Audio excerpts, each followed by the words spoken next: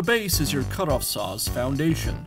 All the saw's major components are attached to it, including the cutter head, fence, and the vise. The most common issue with the base is damage caused by dropping the saw. This can result in a bent base and an out of alignment saw.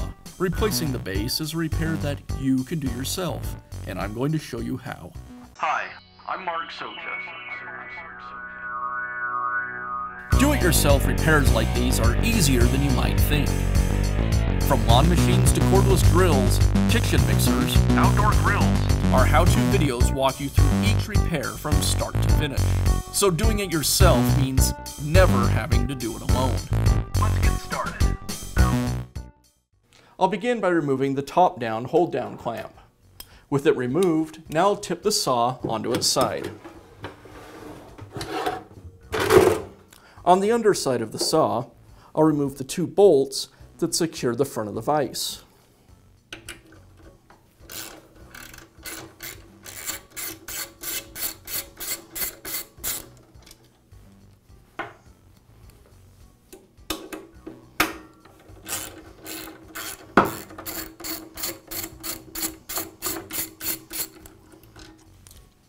Next, I'll remove the retaining ring that secures the vise jaw.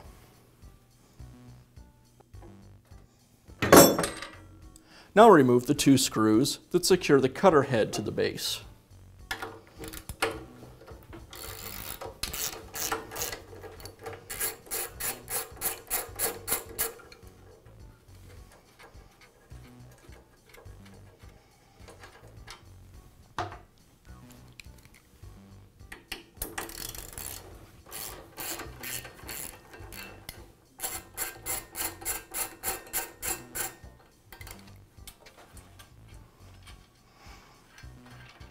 And I'll separate the base from the cutter head. Next, I'll remove the fence. First, I'll unlock the fence clamp, and then I'll remove the bolts.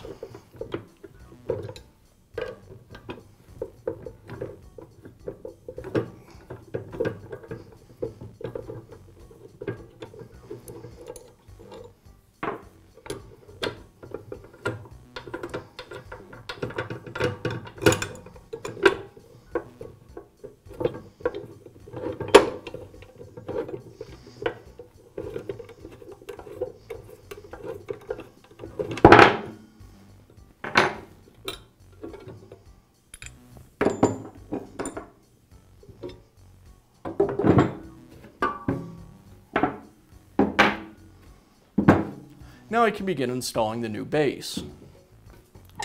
I'll place the fence onto the base, aligning the lock pin with one of the holes. I'll place the cam lock back onto the fence, and I'll tip the base up to reinstall the clamp. I'll start each of the bolts by hand.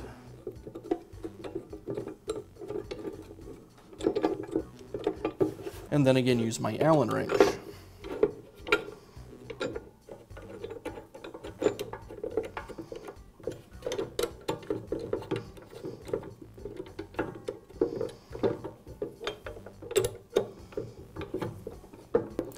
Once the bolts are nearly tightened, you'll need to tune the clamp for the proper clamping force.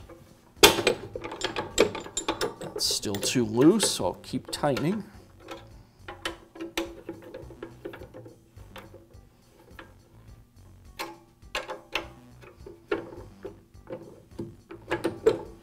It's closer.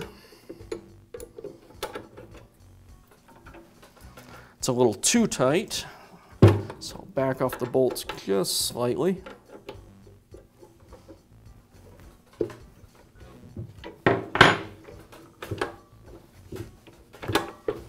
And that seems good. Now reinstall the base to the cutter head. You'll notice there's two sets of holes that the saw can be mounted to.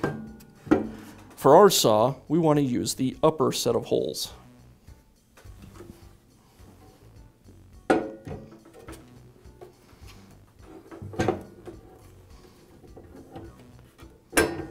There are alignment pins that will first align with the base And now I'll secure the base with the screws.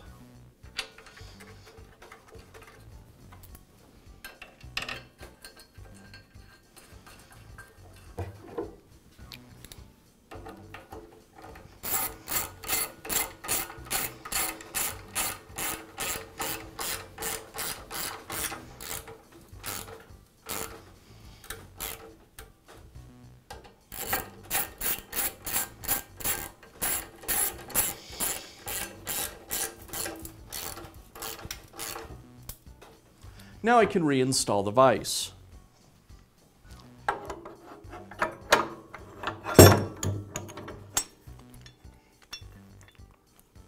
I'll align the vise with the base and I'll first reattach the rear block.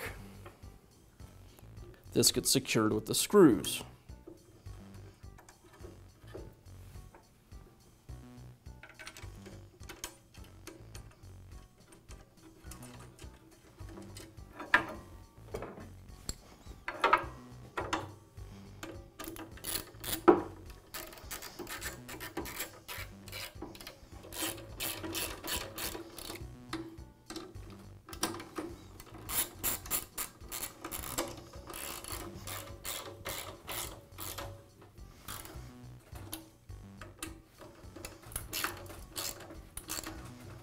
Now reattach the vice jaw with the washer and the retaining ring.